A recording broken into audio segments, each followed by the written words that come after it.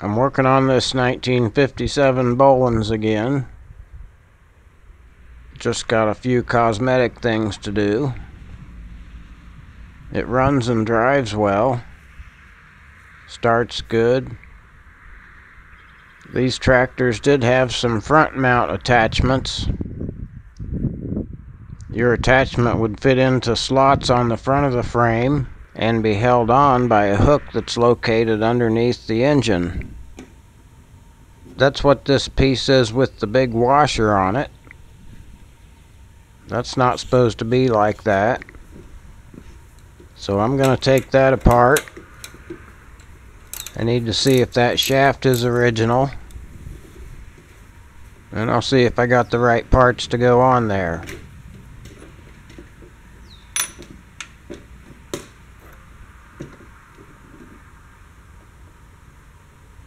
That looks like the correct threaded rod coming out of there.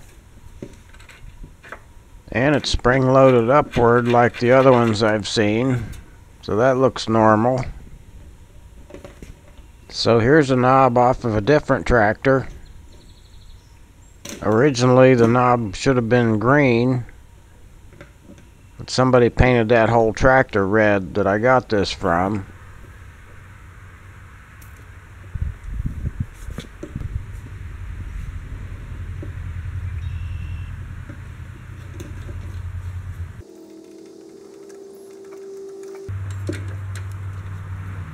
Think you push down on that to hook your implement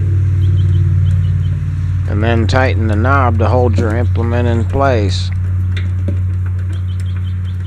It don't look too bad being red. I think I'll leave it. Because I don't think I can get a good looking match to that Bolens green paint.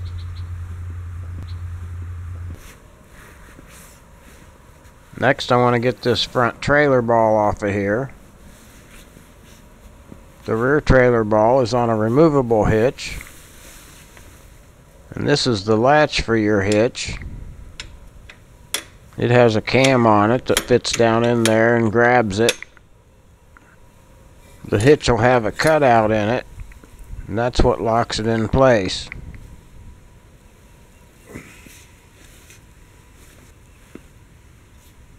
This part of the hitch goes up and down with the lift lever on the side so you can raise and lower your implement.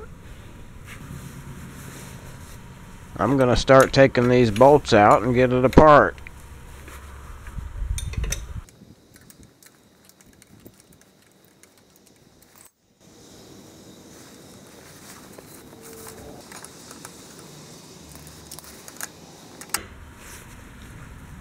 Alright, you're on the ground looking up now, and this is the lower bolt to that same part. I have to get it from down here.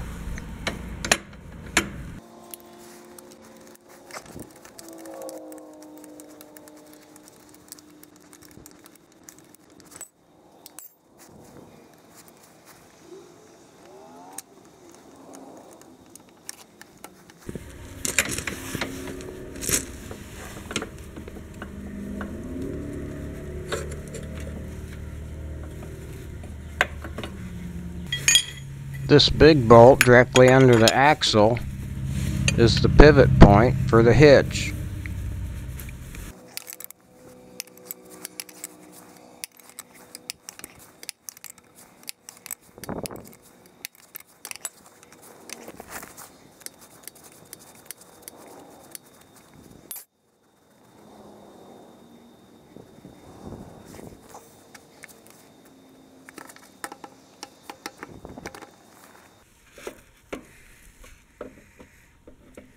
Normally that hitch would drop right through there. But with the trailer ball welded on there, I'm going to have to disconnect the front first.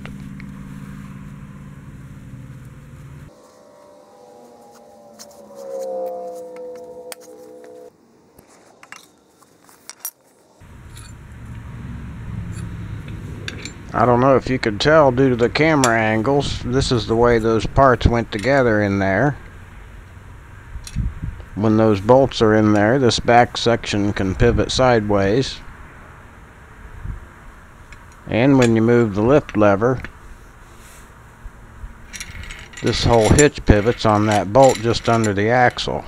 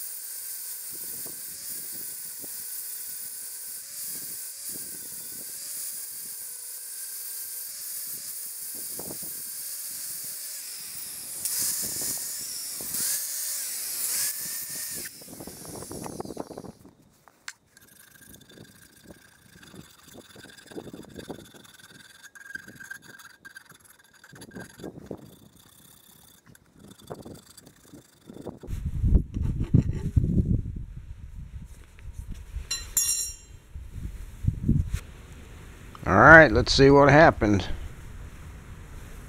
That's about as good as you could expect. It's got the original surface on top there. You can see where the weld melted into the sides a little bit.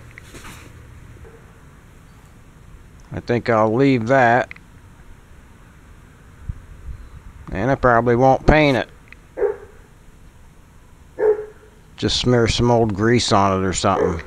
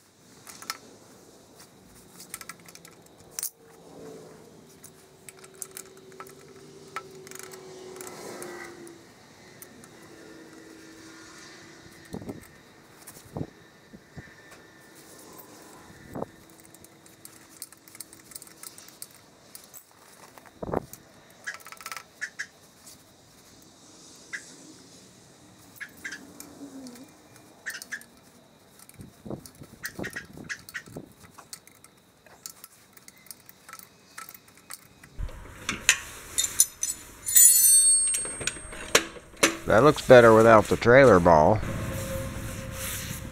Looks almost like it's supposed to. I see the scallop in this hitch is flame cut. So that might be a homemade hitch. I don't know if Bolens would have made it that way. On other tractors like this I've had, this piece here could swing up and down. But this one's tight. And there's a washer on this one side. I'm going to take the washer out. That way this piece will move down. And that's when the hitch is allowed to swing side to side.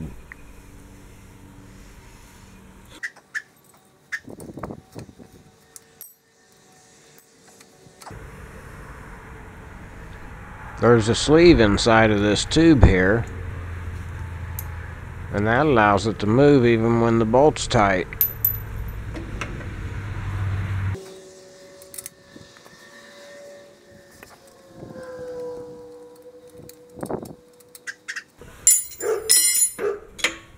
I think that's the way it's supposed to work.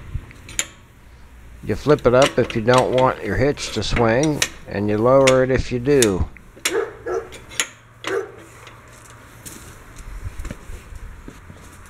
Alright, there's something that needs done back here. Because you don't want to get your butt rusty when you're cruising around at a tractor show.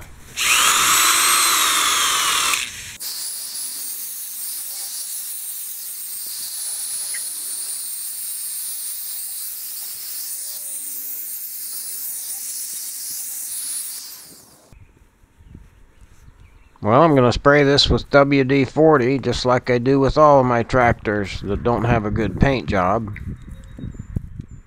It slows down the surface rust and it gets rid of that dry light brown rusty look.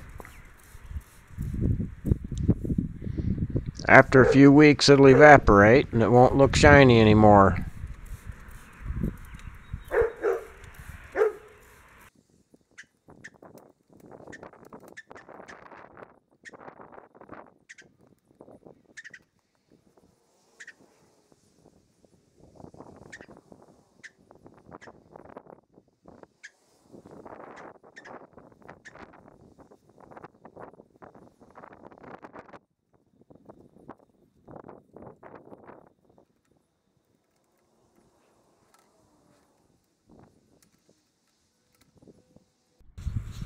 Few more comments about this part.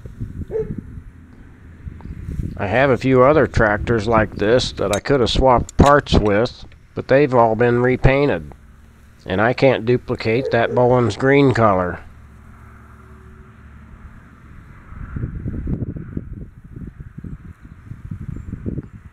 Back here you can see where something has been cut off. There used to be a strap that would go up and over this part and connect on the other side. It was high enough that that flat plate can flip underneath it.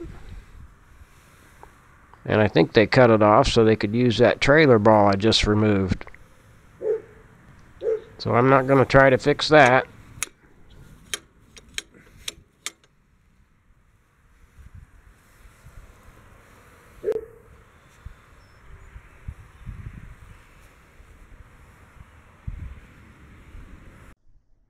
This is a copy of an early brochure of Bolens products. One thing pictured on the front is a Ride-a-matic tractor. This is the first Ride-a-matic tractor they made, and it had a 3.6 horsepower Kohler. When you open it up, that's the only tractor shown, and I believe that was the only one available in 1956. So I think this is a 1956 brochure. I'm just going to page through here so you can see the rest of it.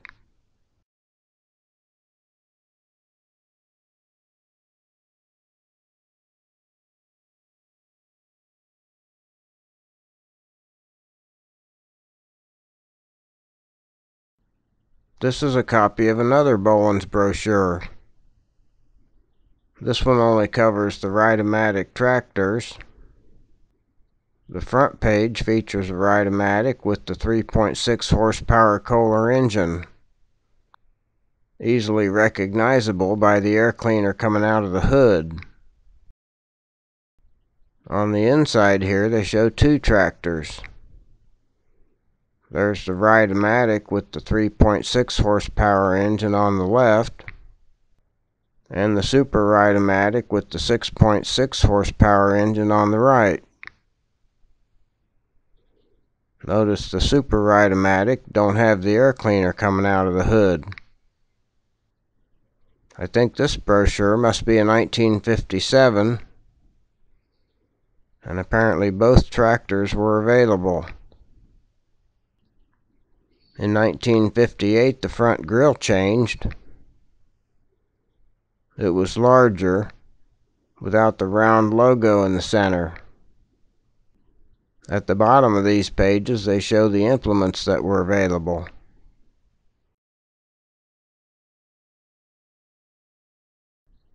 And this is the back page, showing the Bolens Ridemaster tractor and some of its implements. Well, that about wraps it up on this one. If I do anything else with it, it'll just be a cleanup and degreasing because I don't plan on repainting it. I do have to wait for the WD-40 to dry up before I take it to any tractor shows.